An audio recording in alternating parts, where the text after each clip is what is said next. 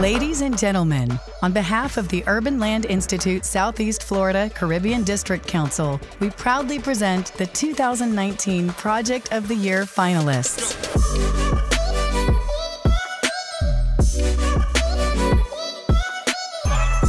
Our first project is Aventura ParkSquare, a 1.2 million square foot mixed use Fit City project that is bringing walkable live work play to Aventura.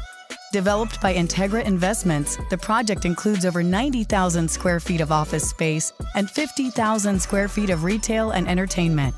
Coupled with a 131 unit luxury condo, a senior living facility, wellness center, and the 207 room Aloft Hotel. Next up is Brightline Virgin Trains USA, a privately funded intercity passenger rail and real estate development project. With its three stations across Miami, Fort Lauderdale, and West Palm Beach, plus expansions to come, this transformative project is helping to usher in a new era of connectivity and transit oriented development to the South Florida region.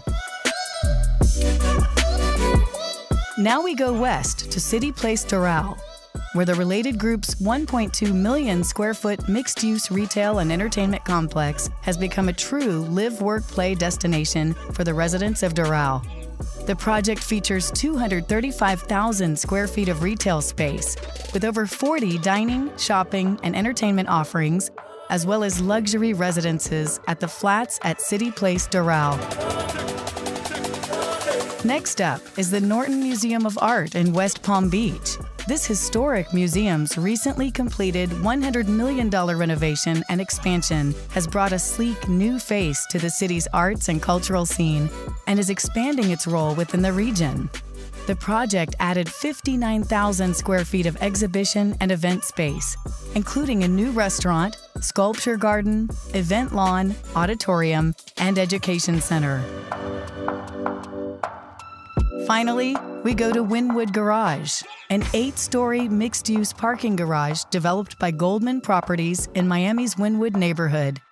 The artfully designed project includes 428 parking spaces and over 50,000 square feet of retail, including WeWork's new Wynwood location.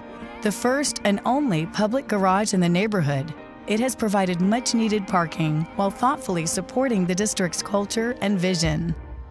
On behalf of the Urban Land Institute, we congratulate all of the 2019 project finalists and hope you enjoy the rest of the show.